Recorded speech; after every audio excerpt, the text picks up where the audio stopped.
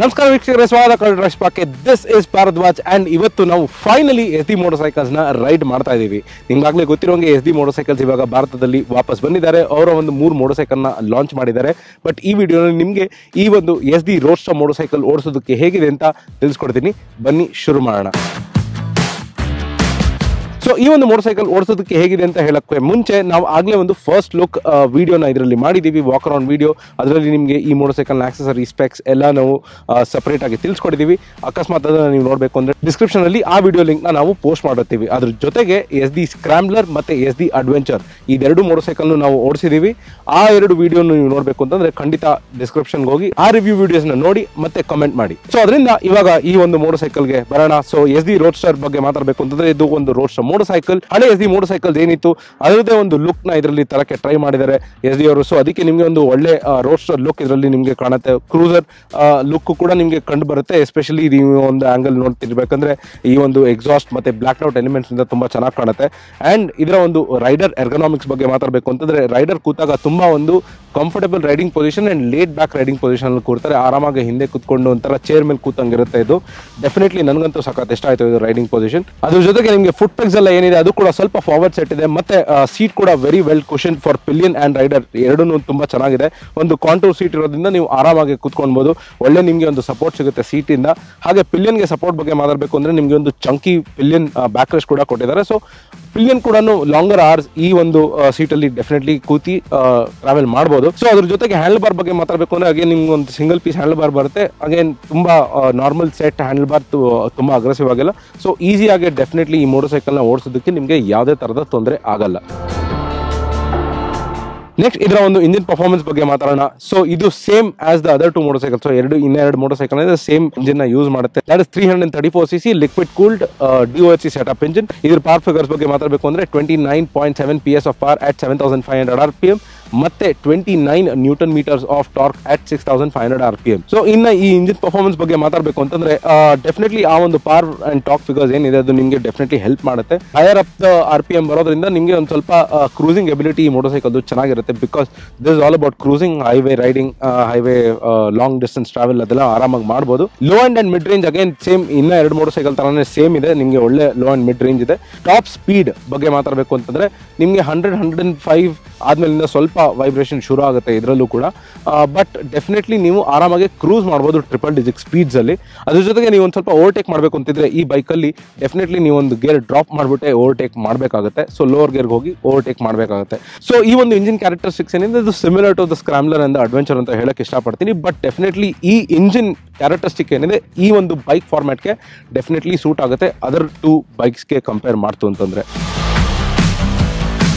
So ಇನ್ನು ಇದರ ಒಂದು ಸಿಟಿ ರೈಡಿಂಗ್ ನಾವು ಡೆಫಿನೆಟ್ಲಿ ಮಾಡೋಕ್ಕಾಗಲಿ ಯಾಕೆಂದರೆ ಇದೊಂದು ಶಾರ್ಟ್ ಟೈಮಲ್ಲಿ ನಾವು ತುಂಬ ಕಡಿಮೆ ಟೈಮಲ್ಲಿ ಸಿಕ್ಕಿತ್ತು ಮೋಟರ್ ಸೈಕಲ್ ಬಟ್ ಡೆಫಿನೆಟ್ಲಿ ನಿಮಗೆ ಸಿಟಿನಲ್ಲೂ ಯಾವುದೇ ಬಂಪರ್ ಟು ಬಂಪರ್ ಟ್ರಾಫಿಕಲ್ಲಿ ಯಾವುದೇ ಥರ ತೊಂದರೆ ಆಗಲ್ಲ. ಡೆಫಿನೆಟ್ಲಿ ಆರಾಮಾಗಿ ಓಡಿಸ್ಬೋದು. ಇನ್ನು ಇದರ ಒಂದು ಸಸ್ಪೆನ್ಷನ್ ಸೆಟಪ್ ಬಗ್ಗೆ ಮಾತಾಡಬೇಕು ಅಂತಂದ್ರೆ ನಿಮಗೆ ಒಂದು ಸ್ಟೀರಿಂಗ್ ಜಾಮೆಟ್ರಿ ಏನಿದೆ ರೇಕ್ ಏನಿದೆ, ಅದು ಸ್ವಲ್ಪ ಮುಂದೆ ಕೊಟ್ಟಿದ್ದಾರೆ. ಸೊ ಇದೊಂದು ಕ್ರೂಸಿಂಗ್ ಎಬಿಲಿಟಿ ಕೊಡೋದಕ್ಕೆ ನಿಮಗೆ ಡೆಫಿನೆಟ್ಲಿ ಅದೊಂದು ಹೆಲ್ಪ್ ಆಗುತ್ತೆ ರಿಲ್ಯಾಕ್ಸ್ ರೈಡಿಂಗ್ ಪೊಸಿಷನ್ ಕೊಡುತ್ತೆ. ಸೊ ಇನ್ನು ಸಸ್ಪೆನ್ಷನ್ ಟ್ರಾವೆಲ್ ಬಗ್ಗೆ ಮಾತಾಡಬೇಕು ಅಂದ್ರೆ ನಿಮಗೆ hundred and fifty M M ಮುಂದೆ ಸಿಗುತ್ತೆ hundred and thirty five M rear twin shocks ಅಲ್ಲಿ ಸಿಗುತ್ತೆ. ಸೊ ಮುಂದೆ ಟೆಲಿಸ್ಕೋಪಿಕ್ ಹಿಂದೆ ನಿಮಗೆ ಒಂದು ರೇರ್ ಶಾಕ್ ಕೊಟ್ಟಿದ್ದಾರೆ. ಸೊ ಅದರಿಂದ ನಿಮಗೆ ತುಂಬಾ ಸ್ಟೆಫರ್ ಸೆಟಪ್ ಇಲ್ಲ, ತುಂಬಾ ಒಂದು ಸಾಫ್ಟ್ವೇರ್ ಸೆಟಪ್ ಇಲ್ಲ ವೆಲ್ ಬ್ಯಾಲೆನ್ಸ್ ಸೆಟಪ್ ಅಂತ ಹೇಳಕ್ ಇಷ್ಟಪಡ್ತೀನಿ ಈ ರೋಡ್ಸ್ ಮೋಟರ್ ಸೈಕಲ್ ಅಲ್ಲಿ. So definitely this is one of the well balance motorcycle out of the three definitely ನನಗಂತೂ ತುಂಬಾ ಇಷ್ಟ ಆಯಿತು ಈ ಒಂದು ಸಸ್ಪೆನ್ಷನ್ ಸೆಟಪ್ ಏನು ಕೊಟ್ಟಿದ್ದಾರೆ ಎಸ್ ಡಿ ಅವರು ಈ ರೋಸ್ಟರ್ ಮೋಟರ್ ಸೈಕಲ್ ಅಲ್ಲಿ. ಸೊ ಇನ್ನ ಇದರ ಬ್ರೇಕಿಂಗ್ ಬಗ್ಗೆ ಮಾತಾಡಬೇಕು ಅಂತಂದ್ರೆ ನಿಮಗೆ ಸೇಮ್ ಹಾರ್ಡ್ವೇರ್ ಸಿಗುತ್ತೆ three hundred and twenty M M disc brake ಮತ್ತೆ ಹಿಂದೆ two hundred forty M M disc brake with dual channel A B S but ಇನ್ನ ಎರಡು ಮೋಟರ್ ಸೈಕಲ್ ಅಲ್ಲಿ ಎ ಬಿ ಎಸ್ ಮೋಡ್ಸ್ ಇದ್ದಂಗೆ ಇದರಲ್ಲಿ ಯಾವುದೇ ತರ ನಿಮಗೆ ಎ ಬಿ ಎಸ್ ಮೋಡ್ ನೋಡೋಕ್ಕೆ ಸಿಗಲ್ಲ. ಸೊ ಅದ್ರ ಜೊತೆಗೆ ನಾನು ಒಂದು ಹೇಳೋದು ಮರ್ತ್ಬಿಟ್ಟೆ. ಈ ಒಂದು ಇಂಜಿನ್ ಜೊತೆ ಸೇಮ್ ನಿಮಗೆ ಸಿಕ್ಸ್ ಸ್ಪೀಡ್ ಗೇರ್ ಬಾಕ್ಸ್ ಸಿಗುತ್ತೆ.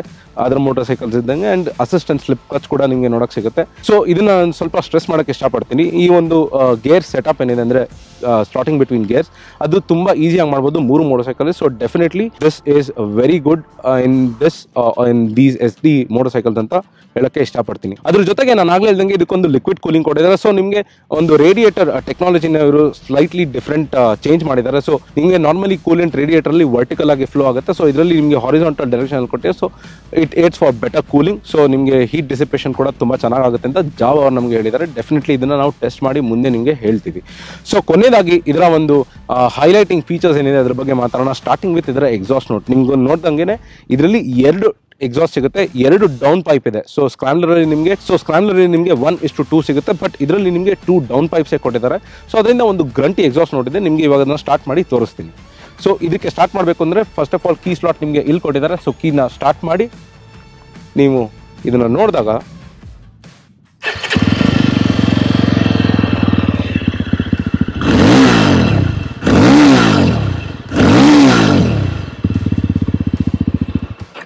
ಸೊ ಡೆಫಿನೆಟ್ಲಿ ನಿಮಗೆ ಒಂದು ಗ್ರಂಟಿ ಎಕ್ಸಾಸ್ಟ್ ನೋಟ್ ನೋಡೋಕ್ಕೆ, ಖಂಡಿತ ನೋಡೋಕ್ಕೆ ಸಿಗುತ್ತೆ ಇಲ್ಲಿ ಕೇಳಿಸ್ಕೊಳ್ಳೋದಕ್ಕೆ.